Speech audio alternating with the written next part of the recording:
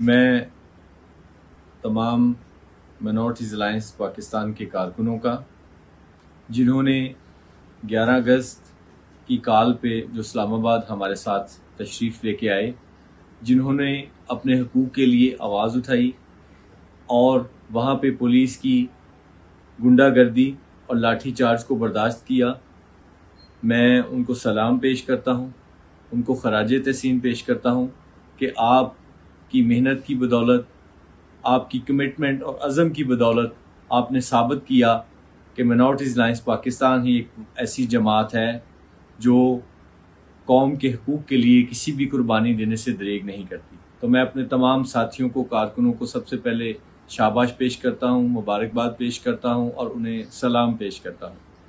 Secondly मैं उन तमाम मसीही और दीगर अकलीतों के उन तमाम रहनुमाओं से दूसरी जमातों के जो सरबराहान हैं, जो दूसरी दीगर जमातों के कारकुनान हैं, जिन्होंने इस मुश्किल वक्त में हमारा साथ दिया, जिन्होंने इस पुलिस की गुंडागर्दी और हम पर किए जाने वाले लाठी चार्ज की मजम्मत की।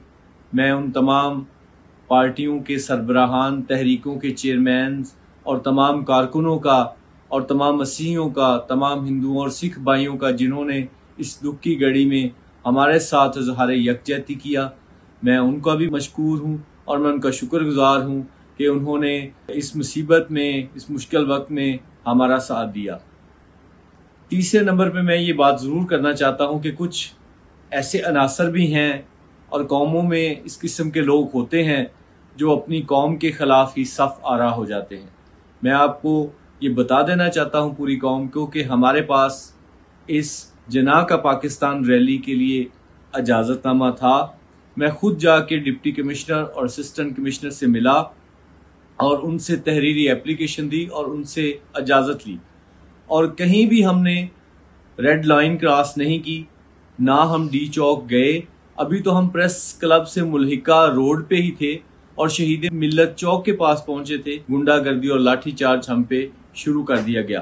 तो जो ये लोग प्रापोगंडा कर रहे हैं कि हमारे पास इजाज़त नहीं थी, कुछ लोग ये कहते हैं कि हमने शायद जो रेड जोन है, वहाँ पे जानबूझ के गए हैं।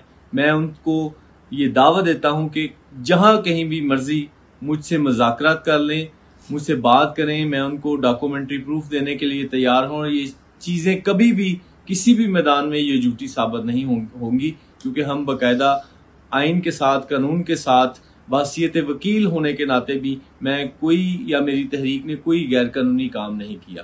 तो इसलिए मैं समझता हूँ कि इस, ये प्रापोगंडा हमारे साथ ना किया जाए। आप सब भाइयों को तो जो अकलीतों के हकूक पे बात करते हैं, उनको तो हमारे साथ खड़े होना चाहिए। लेकिन होते हैं ऐसे कुछ पुलिस के टाउट, जो पुलिस के मौकफ को मज़बूत करते हैं।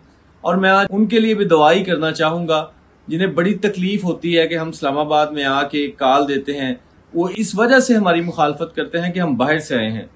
अब बाहर से आने वाले अंग्रेज़ों को, बाहर से आने वाले हुक्मरानों को, बाहर से आने वाले दीगर बड़े अहदेदारों को तो कबूल करते हैं, लेकिन जो किसी दूसरे शहर से आके हकूक की बात करता है, हम उसके खिलाफ नफरत का इजहार करते हैं, उसको एक्सेप्टेंस नहीं कर सकते। आपकी इन ऐसी ही वजूहत हैं जिनकी बिना पे हम आगे नहीं बढ़ सकते।